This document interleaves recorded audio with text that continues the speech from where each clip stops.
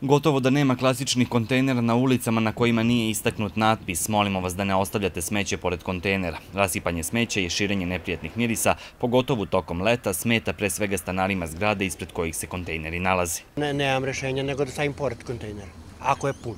Ne mogu ga vratiti nazad koje živim u stamer zgrade. To je ruglo jedno na ulici, ruglo na putu, jednostavno to ispada da smo mi dilje sve. To stvarno ne treba da rade zato što Mislim, mi najđu životinje pa nesu dalje, raznosi se. Ako je kontejner pun, gdje da ga stavi?